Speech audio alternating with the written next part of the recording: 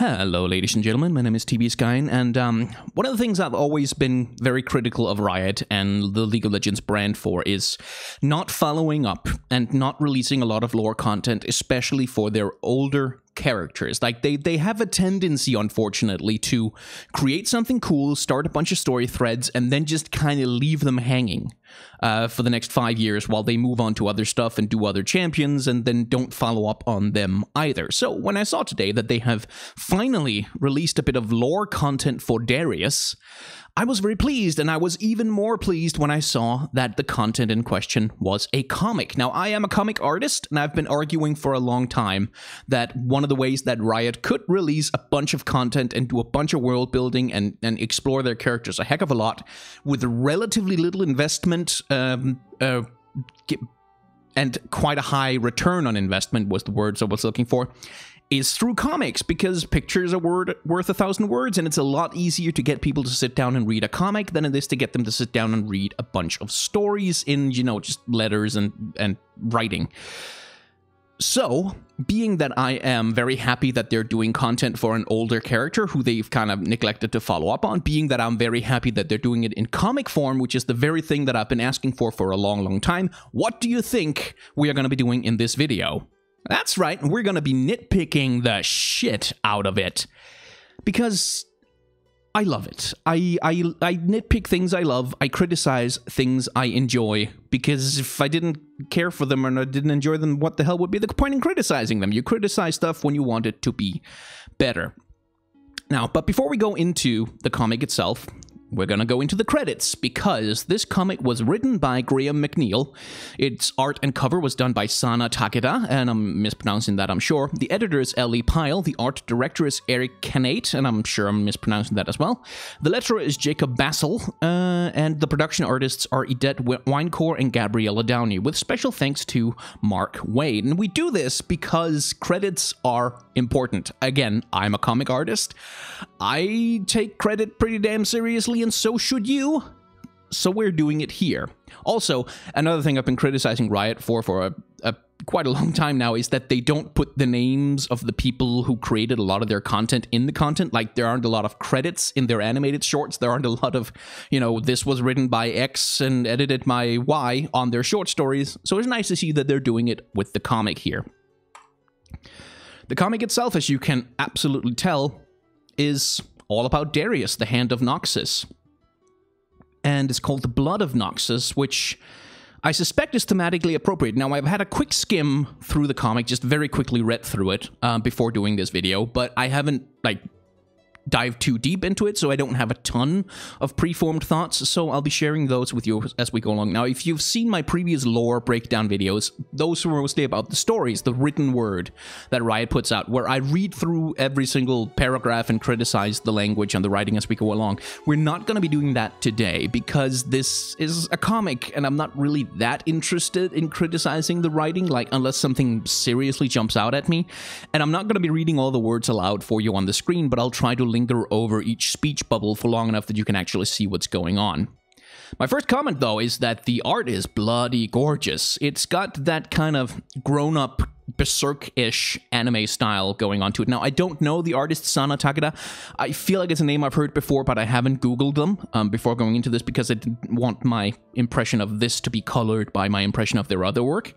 But yeah, this there's just some damn fine line work and there's a hell of a lot of gorgeous colors on this thing. It's it's got this wonderful washed out sort of almost watercolor-ish aesthetic, but it is digital art. I, I can very much assure you of that. And it's also it's got a nice relationship with sketch lines. Now you can see the, uh, hair on the woman here is very well rendered. Like all the lines are pretty clean, and even though it's it's frizzy hair and all, it's it's very cleanly rendered. But if you take a look at Darius's hand over here, if I can get my program to do what I want, I have to do this with a scroll wheel, so it's a little bit unwieldy. You can see the hand here is kind of there's a lot more sketch lines and it's kind of a lot dirtier. I'm doing air quotes that you can't see um, which is an interesting relationship between what the artist chooses to spend time on, what they choose to render very specifically, and then what they choose to kind of scribble their way through.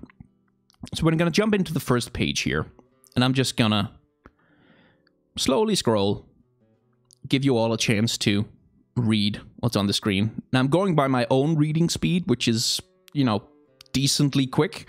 If you're having trouble following along, you can just pause the video. So yeah, like I said, it's got this very desaturated, very watercolorish. Now everything uh, going on, everything is kind of gray and brown. At least in in these first pages, it's it's very kind of. It gives it kind of a flat look in some instances, which is a little bit of a problem here in this panel. You can see Darius is reaching out uh, with his arm to grab the ledge here, but what's going on with the hand and the thumb here? Um, it's it's a little bit muddled and unclear because the coloring is very flat, and and when the coloring is very flat, like you can use color to help deepen the image and make it more clear. Okay, that he's reaching into the picture. It's also there's not a lot of foreshortening, like his hand doesn't get that much bigger. Uh, so it, it's a little bit hard to see what's going on here. That's a minor nitpick, though, and it's not really that important. This panel here is also a little bit basic and render. You can see Darius here. He's kind of just a blob. Um, he's not super fully rendered. He's not super uh, bent and posed. And this is a this is an artistic choice that all artists have to make when they do comics. Is which bits do you choose to care about? Like which bits are the really important ones, the ones that the reader is supposed to spend a bunch of time looking at. This panel is not one of them. You can see it cuts off here because it's an action panel. He loses his grip, pow, and then we immediately need to go to the moment where she grabs his arm and saves him. Like, we don't need to spend time looking at the art here. The pose, the expression, that's not important. What's important is he loses his grip, she catches him. And you can see there's a little bit more time spent here rendering the, the grasp between their hands than there is on the hands that are losing their grip up here. And that's something you should look out for in all comics that you read is to take a look at which panels do the artist care about? Which drawings does the artist choose to really care about? Do they choose to really pour their heart and soul into? And which ones do they just kind of, this is just a thing we need to get to the next panel? Because that's always the trade off between, you know, quality and time that you have to do, when, especially when you're on a schedule. Um, for example, on this page, the, pa the panel that gets the most attention is absolutely this one because it has this gorgeous vista overlooking Noxus. And even then you can see, yeah, there's a lot of care and attention spent making sure this central citadel looks just right. But if you look out here off to the side, where the eye isn't likely to go anyway, what you get is, again, the lines are pretty scribbly and, and there's not a lot of color variation because it's not that important, this particular bit. What's important is the two figures in the middle of the screen, uh, the middle of the panel, and the giant citadel that they're looking out at. And it's a gorgeous composition, too, by the way. You can see there's a little bit of a fisheye lens, kind of bendy horizon going on, which is nice. It kind of widens the image, I think. And then you've got the two characters with the shadows behind them so that they're, they're literally standing in the light of Noxus, right? The Noxus is shining on them and casting shadows behind them. That's a nice little bit of visual language for you. And you can see there's a lot of rendering going on in their clothes and stuff, so that's very nice. And here again, which panels do they choose to care about? What details do they choose to care about here? Darius's face is rendered as fuck, like someone spent some time getting all the highlights and all the topography and all the bulges and everything on that right. And then when you go down here to the armor piece here by his chest, it's kind of, it's a little more scribbly, not quite as much time spent on it, and you can you can always spot these things around.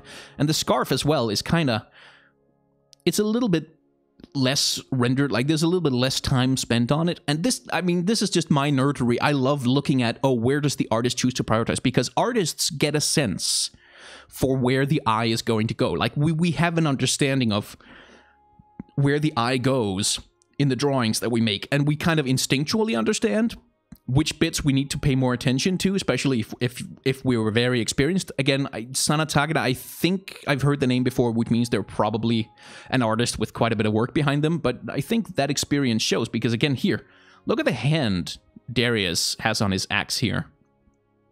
That's like what the it's just kind of a gray blob, but it's not that important because the important bit is the breastplate and the face and the flowing cape and the knights behind him. So, like, spending a bunch of time super over rendering this thing to be super realistic, like, it's not really necessary to the panel. And I forgot completely to let you all read through um, the text boxes, although I suspect you have had time um, to see it. And here we are introduced to another name that is important Kileta. Now, Kileta is this girl who, because she's like posed back to back with Darius, which indicates a split between the characters' um, ideology on the front cover, you can understand okay, something here is important about his relationship to her because they're facing away from each other, but still both looking at the viewer. They're both looking kind of sad and downcast. Okay, so this is a tragedy. There's all this signaling going on, very cleverly done with just with the visuals, especially because one of the first things we see in the comic is that she saves him which is kind of important to their relationship that he owes her his life most likely. They support each other. They have that relationship and it's shown with the hands that they clasp here down here and it's it's all very well done i think.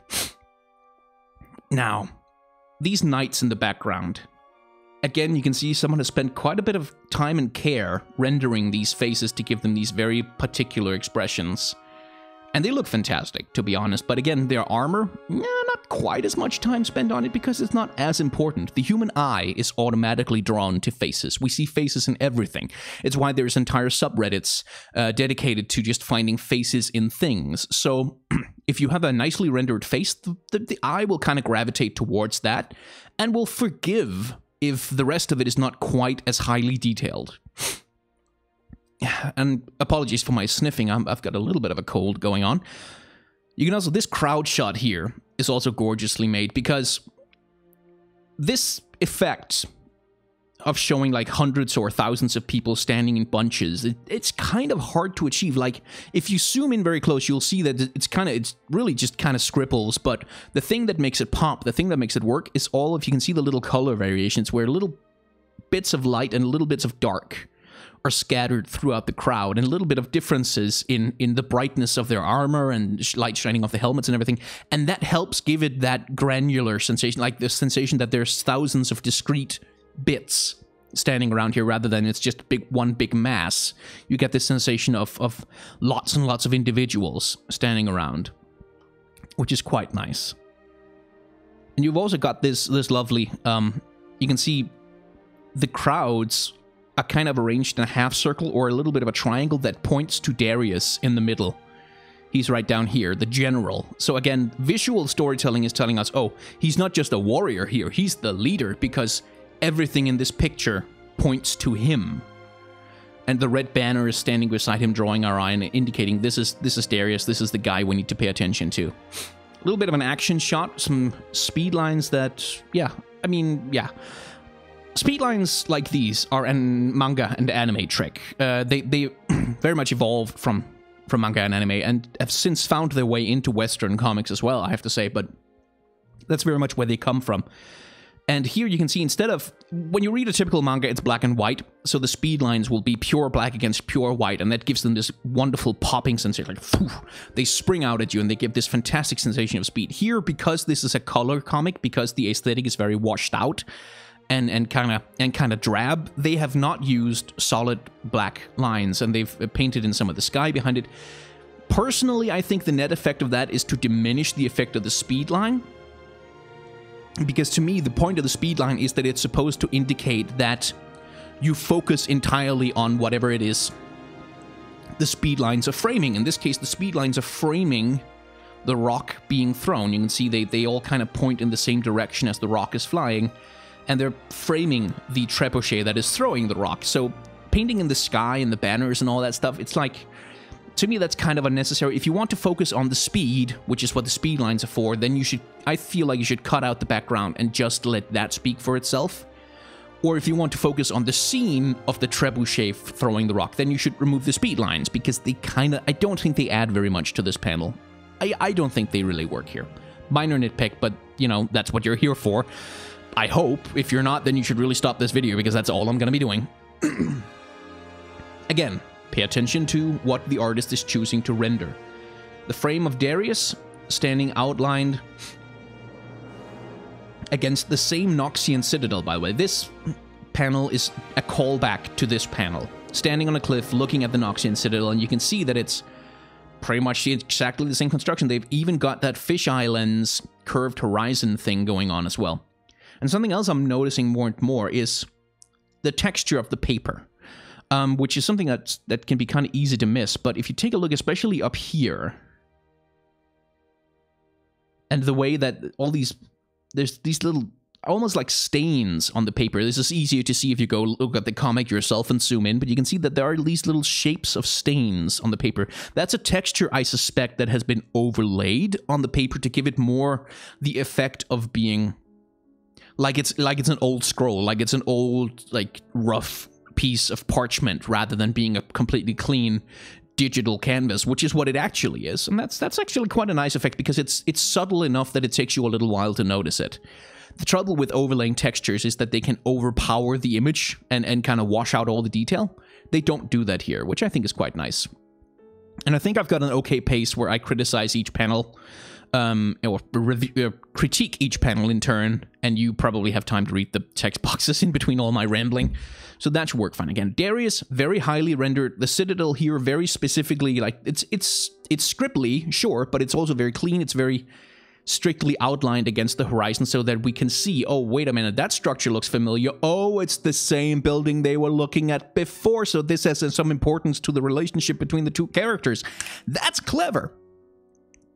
Again, Darius, extremely well rendered, extremely uh, stands out a lot in the picture because he has this big bright red cloak as well as a lot of highlights going on on his axes and armor. Whereas the knights kind of running, you can see this guy down here, his armor is just kind of scribbled on without, it's not like every single bit is, is perfectly rendered. And again, always notice which bits draw the eye, which bits have the artist chosen to focus on, because that also tells you a lot about the storytelling that they want to do in the panel. Speaking of storytelling, this panel here, not a lot to say about it. Uh, it's, again, less rendered than, for instance, this one. Here, Darius's face is like, you could... You could, like, trace the lines of every groove and wrinkle on his face here. Here, yeah, it's it's still rendered, but it's not nearly as much, because again, this panel is not that important. The important part about this panel is that he's looking at the standard of Noxus over here. Like he's literally looking at the next panel. Um, but he's also looking away from the viewer. He's looking off to the side, which indicates, oh, he's not engaged with the action here. He's, he's looking at something else. He's thinking about something else because he's going into a memory. And again, that kind of acting is kind of important to tell the reader what the hell is going on. Because if Darius looked like he was just about to go into action, or he was focused on something that was actually happening, or he looked like he was speaking, you can give the reader the wrong impression that they're supposed to care about the action in the here and now and not think about the relationship of what's happening now to the relation uh, in relation to what's happening previously which is what this next panel sets up ultimately because it focuses on the symbol of Noxus itself. This is a flag. It has no character. It's a cutaway to something that seems completely unrelated to the action as being presented. Like he's about to storm a fortress. So why are we looking away to just stare at this banner for a bit Again, imagine in a movie if the camera had panned over to kind of look at a banner that was waving in the wind. That's the kind of thing you do right before you transition to a different shot, which is what we do when we hit the button and head back to 22 years ago. And also notice the color differences. Like I said at the start, the past is much more washed out and brown and kind of desaturated than the present, which has a lot more color going on, even though it's not, you know, exactly bright and cartoony. And again, we go back to this washed out, almost sepia toned, like it's an old photograph kind of look. And we start finally getting some uh, some dialogue going here. With uh, young Draven, young Darius, and young... that name I keep forgetting, Kileta, which is a weird name and hard to pronounce. And I'm just going to let you read uh, the, the dialogue text for a moment. Um, before I move on to do a little bit of critique. I don't think I have that much to say about the first two panels. There's not that much going on, but I, I do have a few thoughts.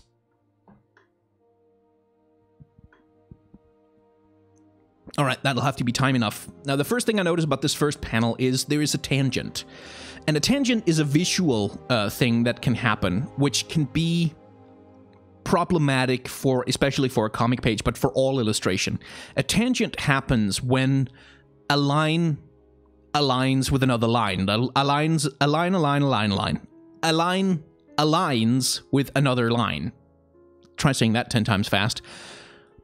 And you can see it here by Draven's shoulder. You can see how his shoulder, it curves down here, but it kind of also, it's almost like the line continues into the, the the curve of the into the uh, edge of the roof here, right? And you can see how on his chin here, it's kind of like the corner of the chin there also kind of continues into the roof here. Now this is a minor thing, but over here, notice how it kind of it almost looks a little flat, like his body could be part of the roof.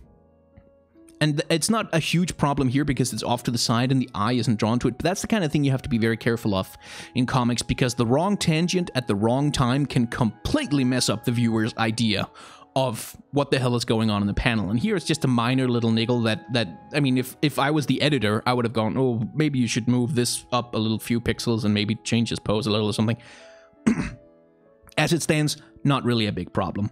Lovely use of lighting here, by the way. Note it's very subtle, but notice how you get this bright sunlight kind of glaring through here that then turns into softer shadows as it hits the courtyard. It's it's all very nicely done. The rendering is is fantastic in this comic.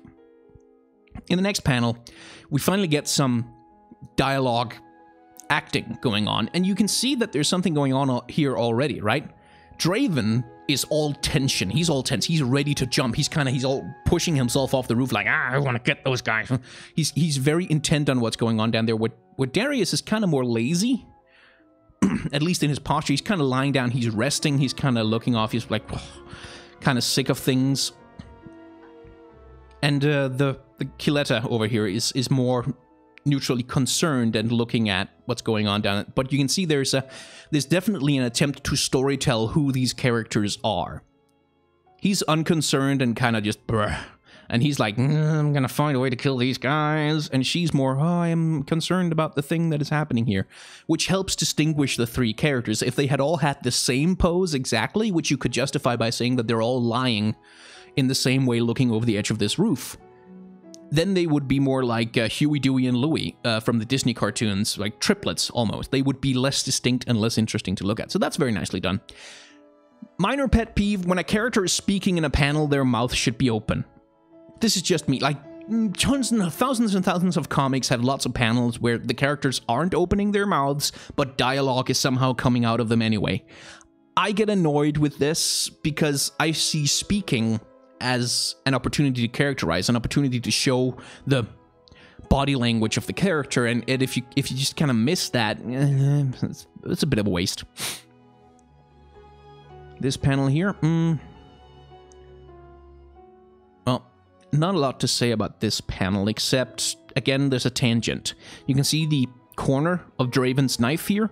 It just pokes up against the edge of the roof. And again, that flattens the image. If it had jutted out over the edge of the roof, it would have given it much more depth to the image. But because it kind of ends there, you kind of get this...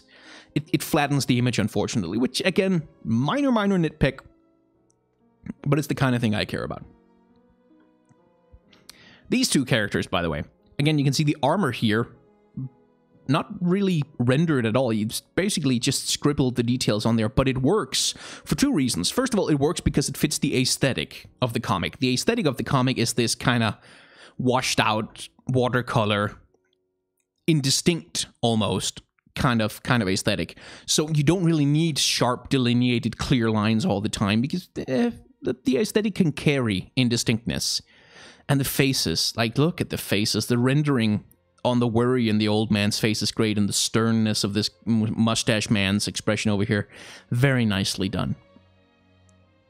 And here we get a, again, the difference between Darius's face up here, where you can see, yeah, he has some facial features, but they're not really explored, and then here, where everything comes to the fore, you can really see what the character looks like. Because again, here, the expression, the the reaction of Darius to the thing that is happening is important to us, so we need to pay attention to it.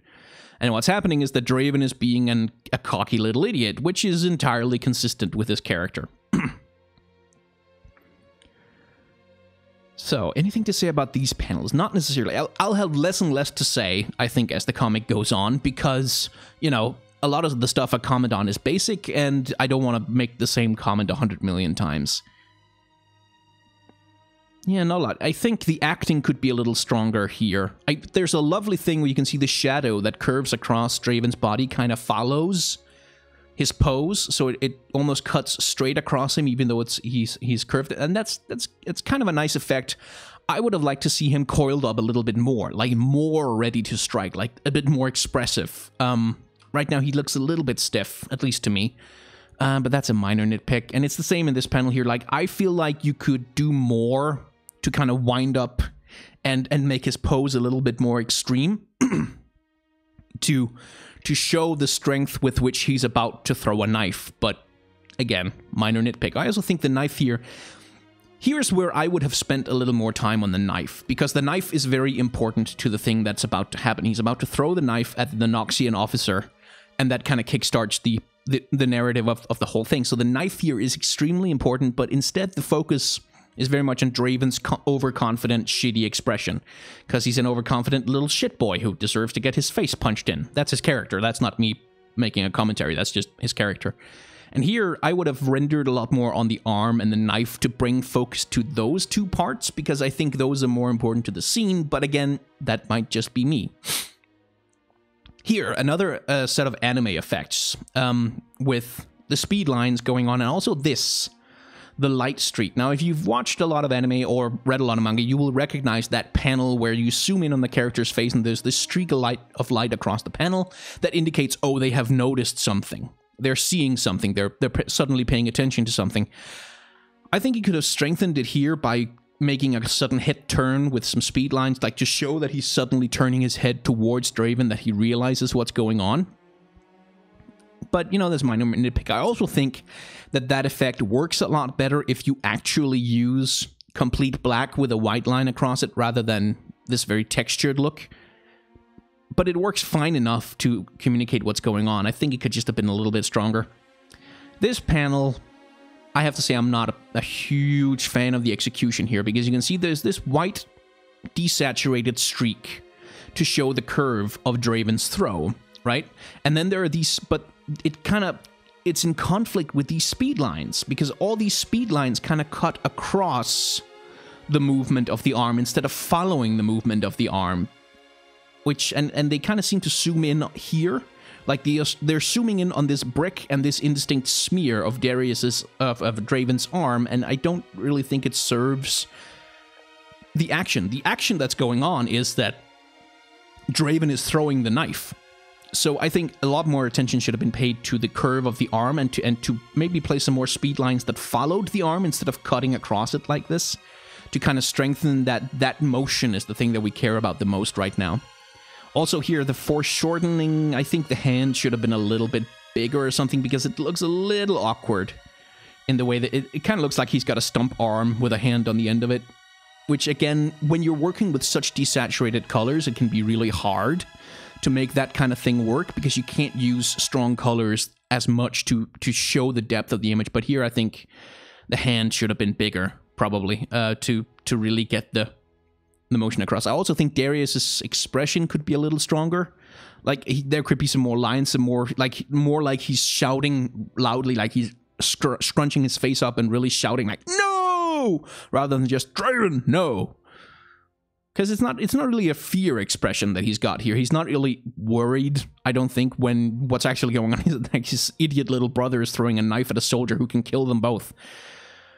Again, an action panel, and again, I have some criticism about the action in that we get that the knife, the speed lines here work perfectly because they focus our eyes on the knife hitting the staff. But what we're not really getting, I don't think, is that Draven didn't miss.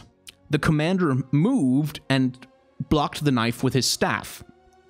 Where I would have put some speed lines maybe on the commander sideways to show that he's moving to the side, or strengthened these speed lines here to show more clearly that he's moving his staff into the path of the knife to block it.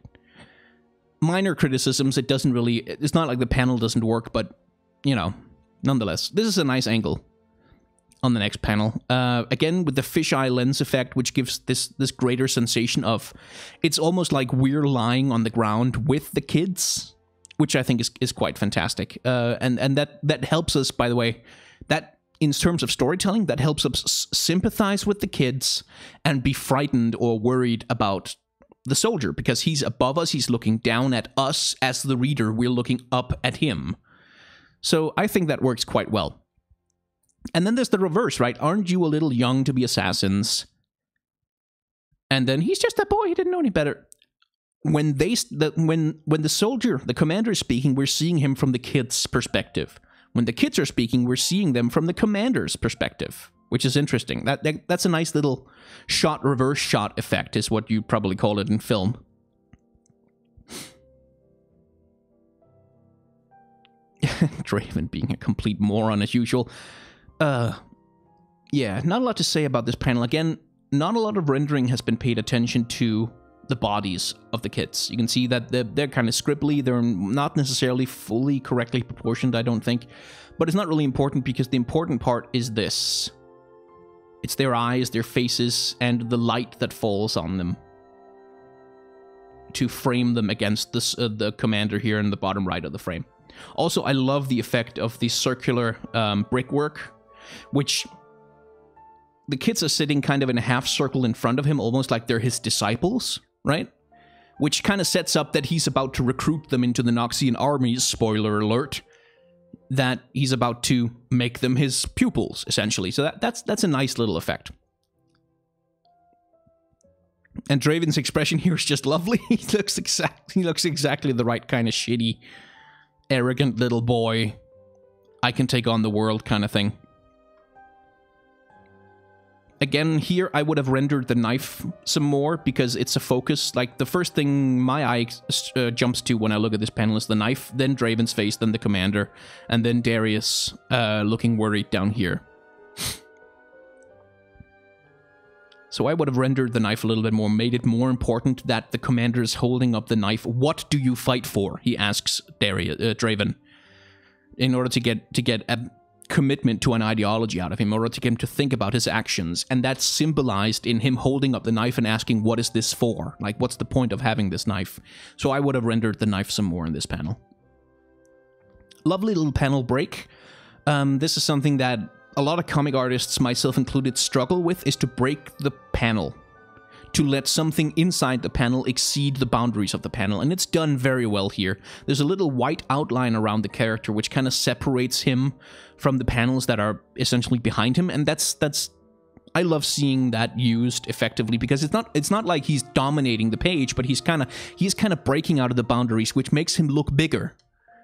Like that's the net effect that he looks bigger than the panel, which means he looks bigger than than the frame of the comic. He looks bigger than the comic itself, in a sense, which helps make him more important uh, when he's delivering something that's very important. That he's recruiting them. And again, the closed mouth while delivering dialogue. Stop doing that. Open their mouths. Let them talk. They're not telekinetic Protoss. You're soldiers of Noxus now. Indeed. I kind of like a lot about this panel. You can see there's a, for the first time, I think, really, in this whole damn comic, some real green is finding its way into the picture. Draven's armor, the, the sky has a slightly more greenish hue to it, and it's kind of nice. It kind of balances the very brown and red and gold and gray that's been going on a lot. I, I, I kind of like that.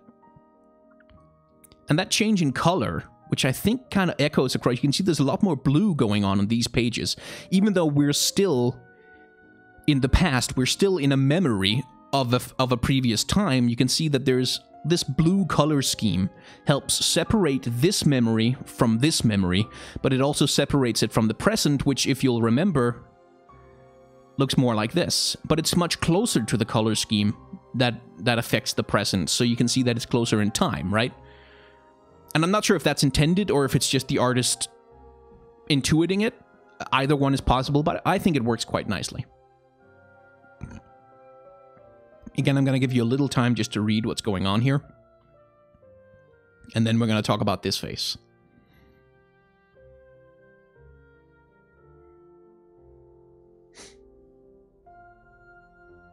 All right. This panel is not important.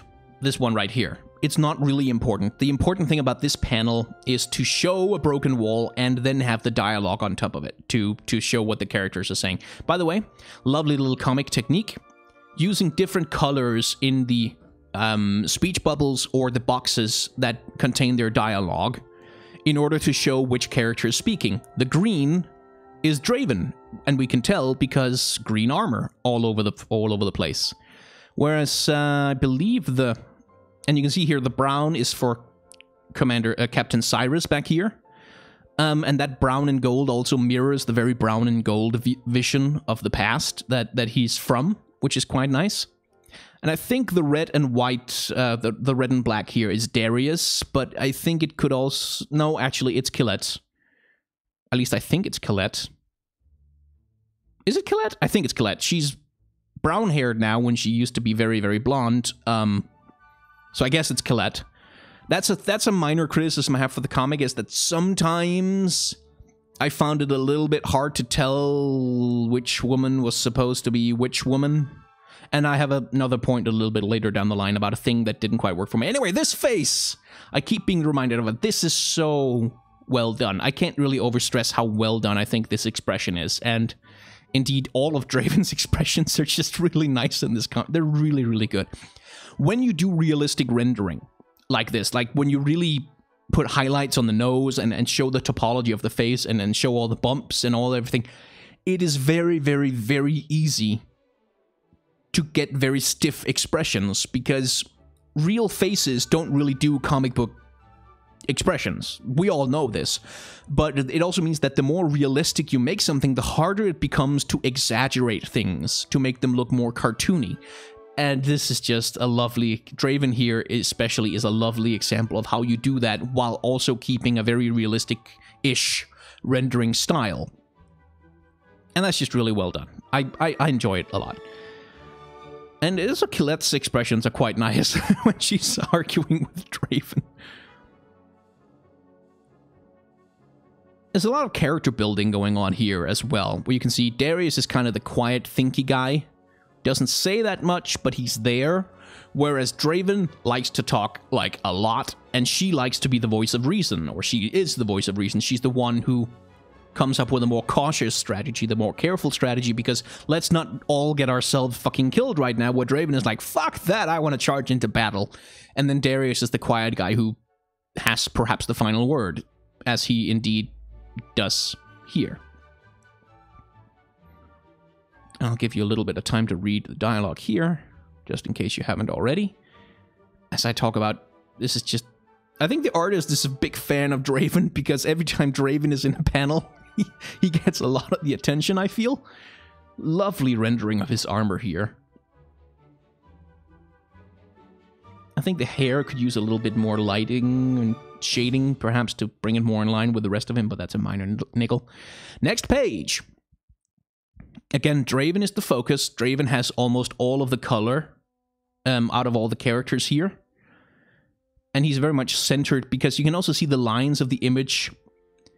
This leads us down here, leads us down here, leads us to him, leads us down here, leads us to his speech bubble, which leads us to him. And the line of the soldiers' heads leads us to him. Compositionally, this is just very well done because you can see the, that he's basically, if you drew uh, um, what the heck is it called, a horizon line, and put the perspective uh, and mapped out the perspectives of the image, they all center on Draven, which is a nice little compositional bit of, of, of visual trickery. And the same thing here. The arrows streaking by frame, very much frame Draven, and he, he has all the color, so he draws all the attention. Whereas everything else is a little bit more understated and nothing really points to it. And also, he's just in the center of the image, which always makes him the center of the image. That's a tautology. And again, such a lot of expression. I think his smile could be bigger here. I think they could actually have pushed this a little bit further, but I think they wanted him to look badass rather than look kind of comically arrogant. And here the action works better, I think. You can you remember how I had some criticisms previously about how showing like a character swinging something or moving. Here you can see the speed lines are all behind Draven. There, nothing overlaps him, nothing distracts from his action pose, and that's when these um, washed out white streaks can really do their job of drawing our eye to the axe being thrown backwards as it breaks an arrow mid-flight. So that's all very nicely done. And again, the panel right above him, not really important because the important thing about thi- this bottom half of the page is Draven breaking out of the panel down here, and he dominates the entire compass. Like we get this this panel is just to show us, oh, arrows are being fired. So there's a little bit of attention paid to the bow and the hand, but the rest of it is very, very scriptly, not really that important. The important part is Draven showing off knocking arrows out of the sky because he's immortal and invulnerable and he's gonna kick all the fucking asses and shit. Again, a very nice action shot. Again, this white streak does a great job of pulling our eye, giving us the impression that you have this swing of a slice over where he kills a dude probably and knocks a couple more arrows out of the way kind of being the vanguard of the whole thing. It's also storytelling wise, it's also kind of important that Draven actually goes first. He's trying he's trying to be in front of people because he's hungry for glory, but he's also knocking arrows out of the air, protecting the soldiers behind him, which gives us the impression that oh, maybe he's kind of a competent soldier actually and not just a bracky moron. Which is kind of important for his characterization. Again, this panel, not very important. We just need to know torch, fire stuff going on. Which sets up the fuse, which sets up the explosion here at the bottom, uh, where they breach the wall. Again, lovely action shot. This really works. I would have liked maybe to see the one of the axes actually flying, because I think what he's supposed to be doing here is throwing one of his axes slashing open these two assholes. Um, or slashing op open this guy. But because the axe isn't actually in the image, it's, it's a little bit unclear what exactly he's throwing. Um, that's a minor nitpick. Again, the fuse is important, so there's been some time spent on rendering the smoke and all the rubble around it and the fuse itself. This next panel is transitional, so it's not that important, so the soldiers just kind of look like these big lumbering blobs without that much motion to them because we just need that to get to here where we see the fuse going on a little bit more and then ba-boom! Explosion! As we can see, Draven being thrown back, shrapnel flies everywhere.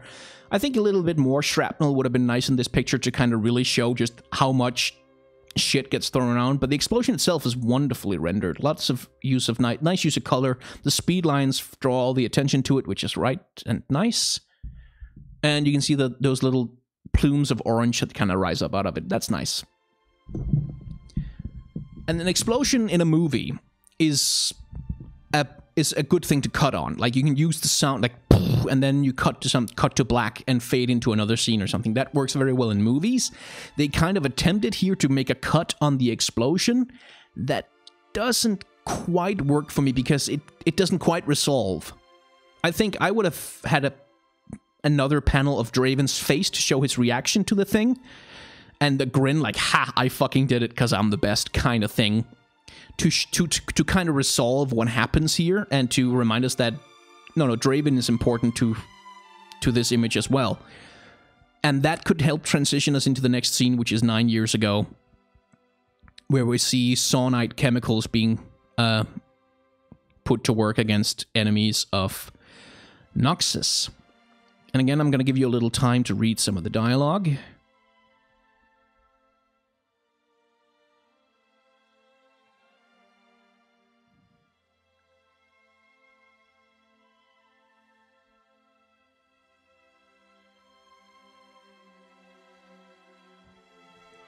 That should do.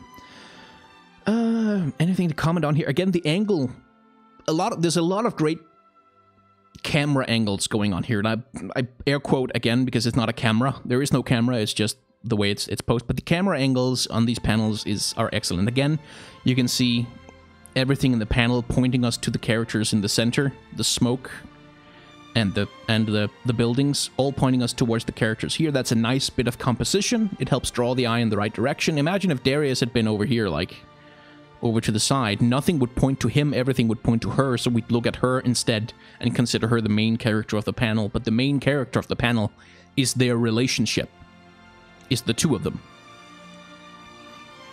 And again, lovely little bit of angling here. You can see the ground is very present um, in these panels, which helps give us the sensation, again here, we're lying on the ground as well, the us as the, the observers, along with the dead villagers or dead citizens of whatever the hell this place is that got murdered with chemicals. So it puts us in the position of, of the spectator from the perspective of the dead people. You could easily put the camera above them and have them walking through the streets instead, but they choose to put us down on street level. Which which I think is a very nice touch. This pendant she picks up, by the way, lovely little bit of bit of storytelling. She and Darius are are central to this image, but the image does lead us. Like the first thing we see is them, and then we get drawn down here to see that she picks up this locket. And then in this panel, she's not the main character at all. The locket is. It's right in the center. And it's framed in a lovely way by the shadow and her and the, then the speech bubble kind of curving around it. And because it's gold and, and a little bit bright, a little bit shiny, we're kind of drawn to it, which I think is a lovely effect because the locket is kind of important apparently. That's that's what the page is telling us anyway because we don't see her face. If her face was in the picture our eye would be drawn to that immediately but since it's not we look at the colorful shiny thing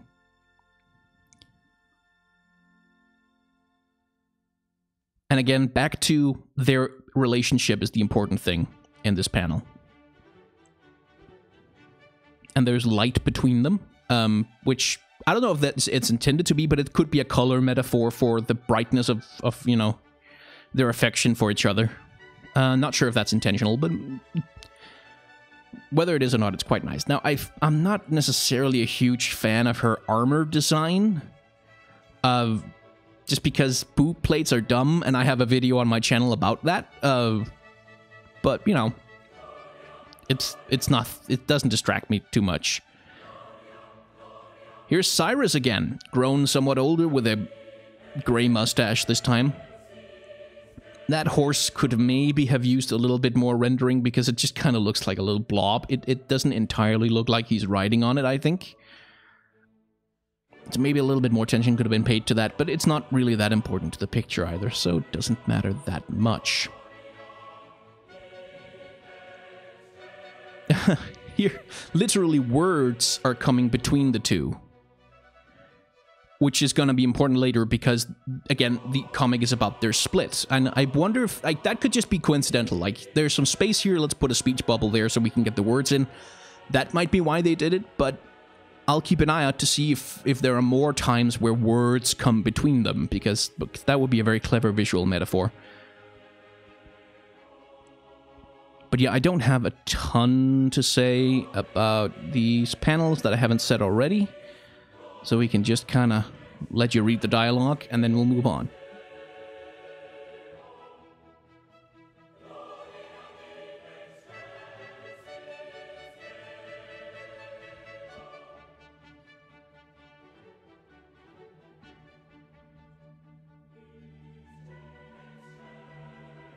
That should do you. Again, lovely, lovely Draven expressions and I'm going to let you read the dialogue, and then we're going to move on.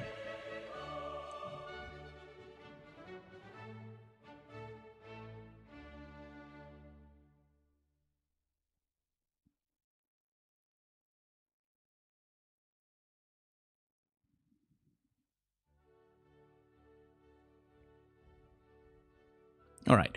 Couple of things about this panel. Draven again steals the show with all of his expressions because they're just so freaking good. Um,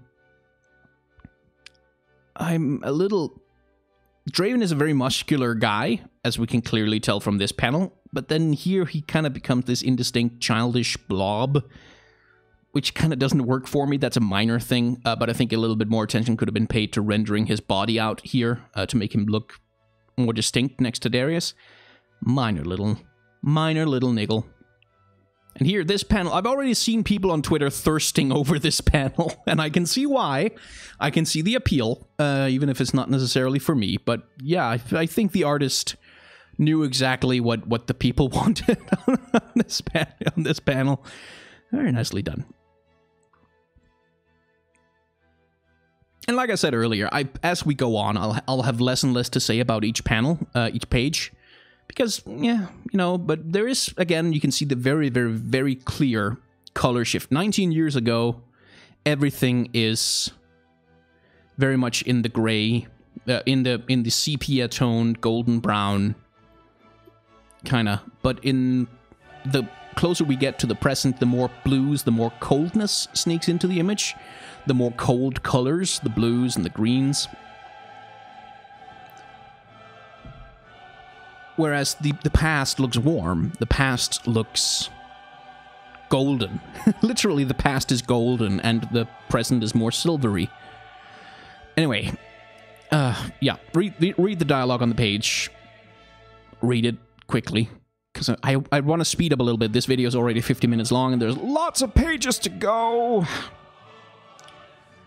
Yeah, there's 22 pages. We're on page 13, so might want to speed up a little bit. Naked Darius, I think, again, a little bit of lovely fan service. And again, the shift, you can... The, the colors... Using warmer colors for the past and colder colors for the present, it's not just like, oh, that's a nice little visual thing. It also helps comprehend the comic, because you can see this panel is in the past, that panel is in the present as Darius picks up a rock, this panel is in the past. And the colors help guide our understanding of what happens when. And this could literally be the cover of any romance novel. Past, present, past, present. Which is lovely. Uh, it's a lovely intercutting. It also helps heighten the drama, because what's happening here is Darius throws a rock into the pond, skipping it like he's a child or something, and we have an assassin approaching with a blade. And here the blade is highlighted with white like light is shining off it, which is which is nice. It, it tells us what the blade is for. It's for killing people. Specifically, this guy who's framed, literally framed, by the two trees and the water.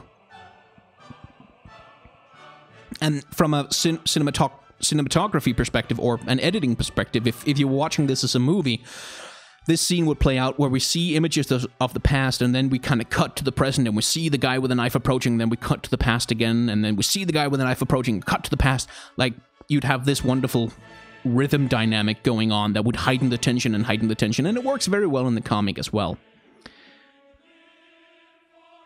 This panel, I think, could be a little bit better composed because it's all about Darius in this panel. He, he takes up most of the space, he's center frame, he has all the color.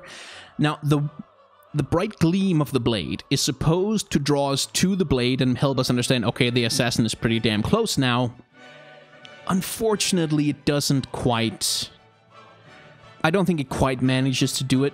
I was still kind of too focused on Darius when I first saw this page. Um, so when I was skimming it, I looked at Darius and then looked down here and then I went, oh, she, wait, hang on. Why did she suddenly Draven Axe to the back? Oh, right, she was in the previous panel. It wasn't a weird cut for no reason. Anyway, here comes the Draven Axe impaling the poor assassin right in the back.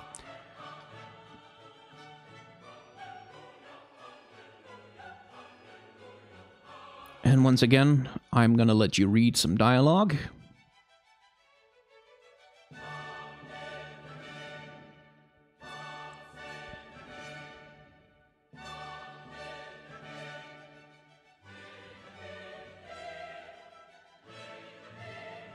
Right, this page, again, I don't have a lot to say about it that I haven't already kind of pointed out, but notice how there's a banner of Noxus kind of cutting the two brothers off from each other. And I think it's supposed to signal that there is a bit of a schism between them, like that there is a division between them, as well as a division between them and uh, Killet, who has betrayed Noxus. Which is something I think the visual storytelling this page is supposed to set it up that she's starting to have qualms about what Noxus is doing, what Noxus is, and, and the price of serving Noxus's agenda. And and these pages do an okay job of it, but it is a little bit jarring to me to go from oh they used to be lovers and have sex in lakes to all of a sudden they're in front of a fortress threatening to murder her after he has been almost been murdered by her assassin. It's I, mm, I think you could have used a little bit there could have been a little bit more time spent showing her disillusionment with Noxus growing while Darius becomes more committed and so the rift between them grows wider. But that's If you only have 22 pages to do it, well, then that's the time you're gonna have to go to do it. Yeah, not a lot to say about these pages, either compositionally or anything. I think this character here, who's gonna be very important before the end, the black-haired uh, girl in the robe, could have been centered a little bit more in some of the pages. I think it's supposed to be kind of a surprise when the thing that happens happens, in that she's really out of focus. She's not the focus of any of the panels that she's in, really. She kind of sits in the background in the shadows. Even when she's introduced, right? This is my second in command in Vetia. Still Killette, who's the focus of the panel. She's still the focus of the picture.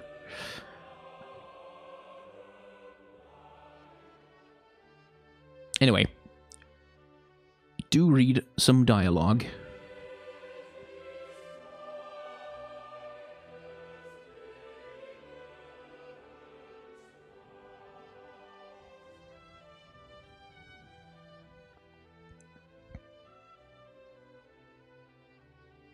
Anyway, here's a little bit of clever writing that I want to point out. Um, Darius and Draven have just presented the head of the assassin that Killette sent to Killette in a bag. And then here the dialogue goes, he died, her son died, fighting for Noxus in the Freljord. The savages sent his head back to General Korlak. I am sorry I didn't know. And this panel, everything, the gaze of the characters, the lines of the wall, and and the, the framing of, of the ground here, and has us leads our eye even the progression of the dialogue right? We go from here to here and then the natural progression is to go further down. Centers around the head in a bag that Darius has just sent back to her right? So the writing and the art are both telling us that she thinks Noxus is the same is is the same kind of honorless mockery of its own ideals that the barbarians are. The barbarians who cut off the head of her son and send it back to the general and Darius and Draven who caught off the head of her assassin and sent it back to her. Like, there's a strong parallel being set up, which helps us to understand her resentment towards them.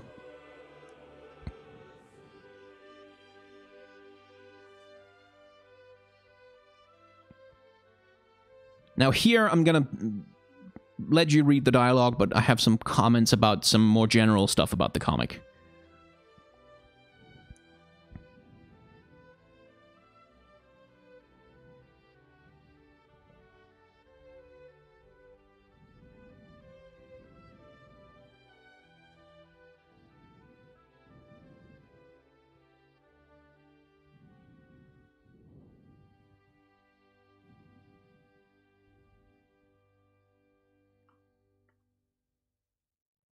Right. So now that you've read it, first of all, the expressions are still not strong enough, I don't think. Like, I think, like, like they do such a great job of exaggerating Draven's expressions, making them a little bit more comic book like, making him appear a little bit larger than life. And then you see this is where the two former lovers have a discussion about like their foundational, their fundamental ideological beliefs about the world, and the expressions are just kinda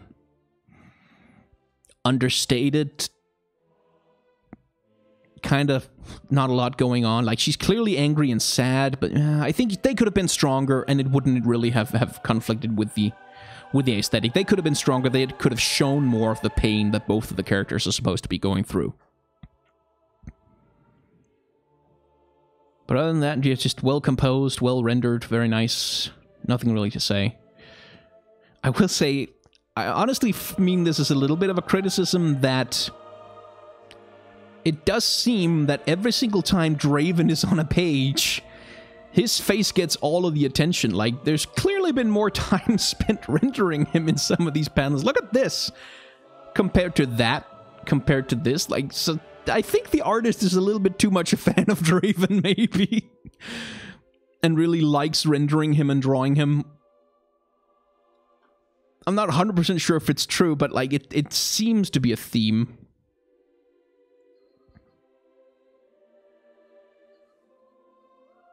Anyway, read the dialogue, please.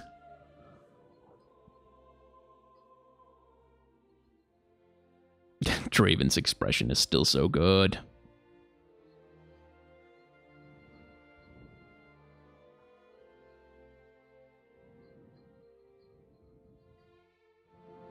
This panel, mm, I feel like the city and the gates could have used a little bit more time drawing them out properly because as it stands, that's a little bit shoddy.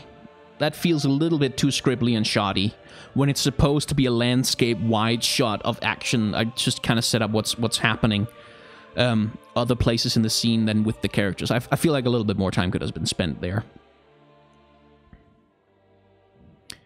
And again, the expression here, it's supposed to be kind of this disbelief and defeat kind of face going on. And I think that could, been, could have been pushed a little bit further. And Darius's resignation to the inevitable could also have been pushed a little bit further. Anyway, I hope you're reading the dialogue because I'm going to scroll down now.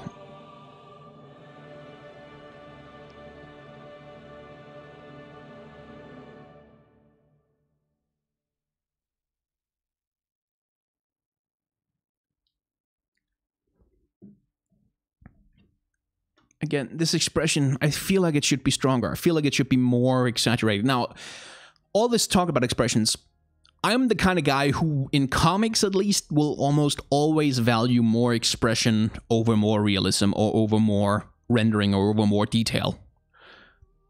Because I think that's more important to the format, to, to the genre of comic books, but, you know, to a certain extent, that's just me.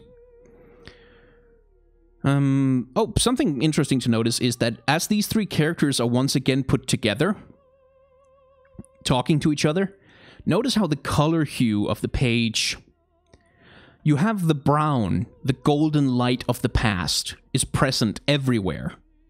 Every time they're talking to each other. And it's coming from the sunset, sure, but it's a deliberate choice. You have the golden sun kind of setting as the blue sky starts to show, slowly assert itself. You can see this. There's constantly this conflict between golden browns and then just a little bit blue, a little bit of blue in the sky, kind of forcing its way in to the image. And again, if you remember the color setup that they have, blue and cold means present, gold and and and, and brown means the past. So literally in the colors here, the past and the present are fighting. Like their past relationship is fighting against their present conflict. And that's just a very clever little thing to do with the colors. And and maybe a lot of readers don't notice it. I but I I noticed it. I quite I quite like it. I think it's very clever.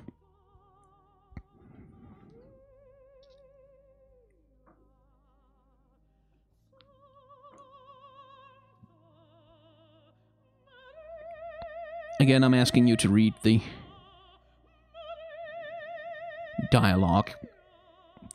And again, I have to comment, this is where, Darius, according to Darius, this is where uh, Kileta breaks. Where she, where she loses her spirit, her will to serve Noxus when her arm is severed because it's infested with poison from the alchemist that is singed. But here she's begging to die because she's in so much pain and she doesn't want to lose her arm. She would rather die than be a cripple. And her expression really kind of doesn't say that. It doesn't say person screaming in the worst pain that they have ever experienced in their lives, begging to be let out of their misery. It's more like, I'm upset that you didn't do the dishes. That's kind of more what this expression says to me than, holy fuck, I am fucking dying over here. This is where I think the expression should have been pushed a lot harder. So yeah. But again, not a lot to say about these these pages that I haven't said before, as again we return to the present. And here, interestingly, the golden light of the past, the, the reminiscence, you can see the blue is still present here as, as the reality is forcing its way into their relationship and forcing them into conflict, right? And I hope that you're reading the dialogue um, also. But at the moment that she dies, betrayed by her own second in command, the moment she's murdered, the light of the that golden light just flares up. It explodes, and everything becomes colored in it. Because in this moment when she dies, and Darius, holy shit, the woman I used to love is dying in front of me, everything becomes about their relationship, their past relationship, their history together. Their past together becomes the only important color symbol in the whole goddamn thing. And that thing, I think that's very clever. Like, this is where the color scheme of the past is most present is when Darius sees the woman he loves die in front of him because he serves Noxus. That's the sacrifice that he has to make. And the same way that she had to sacrifice her arm and her son. Anyway, by the way, speaking of sons, it means giving your blood and your life. It means feeding it your children, Desi Decius was more than just my son, Darius. He was, and then she's cut off, right? I'm not sure if they're implying that Decius was Darius's son, but they their names both start with a D and end with an S, so I think, yeah, probably Decius was Darius's son. Um, and this might be when Darius realizes this as well.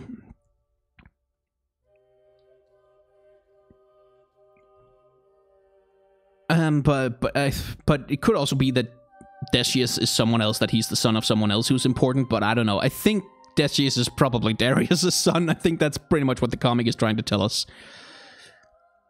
And that's the final page, finally. So read the dialogue.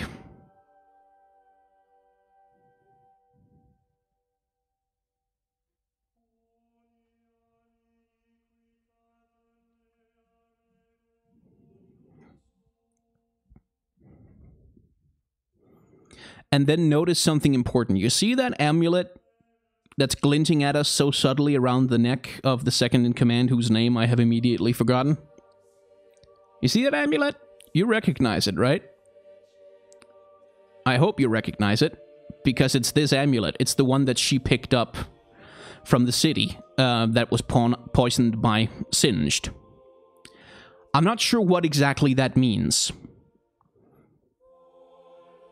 But she gave this amulet to this woman. And I think that means something important. I think that means she matters somehow. I'm not sure how, though, because I don't think she's Coletta's daughter, and I don't think she's Darius's daughter either. That would be kind of weird. But maybe she is. Like, there's something clearly important about this girl, whose name I should really look up so I can actually remember what the fuck she's called. Invetia. There we go. But yeah, this final panel, this is what this whole comic has been about. This is what it's about. That's this panel is the entire moral and and and thematic resolution to the comic because Darius is cradling his childhood friend, his lover, probably the mother of his son, in his arms as she dies. Horribly saddened by what's going on. Like, this is a very tender moment. This is a brilliantly realized pose. You can really see the he's holding on to her for dear life kind of thing going on. As the person who killed the woman he loved walks away holding the banner of Noxus, the city that he serves. Like, that is some excellent use of imagery, and it's it's brilliantly put together with the writing. And I think that works gangbusters. I think that works fantastically. And yeah, that's that's pretty much the end of that comic. So we're gonna go back and look at the credits. Um, as we fade out. This video has been over an hour long because I can talk a lot about comics and art, and maybe that was a little bit too much. You can let me know in the comments whether, you know, this was way too long to spend reading a single comic, or if you would like me to do something similar the next time Riot releases a comic that is uh, worth spending some time going through. I hope you've enjoyed my little breakdown of the visuals and of the art style and of, of, of all the stuff that's going on uh, in this comic, and I hope you will remember always to credit the creators of comics and stuff and artwork that you post uh, on the internet. It's important. Remember the people who bring this stuff to you. And my name has been TB Skyen, and you can subscribe for more of this if that's what you want. And I suppose I shall see you next time.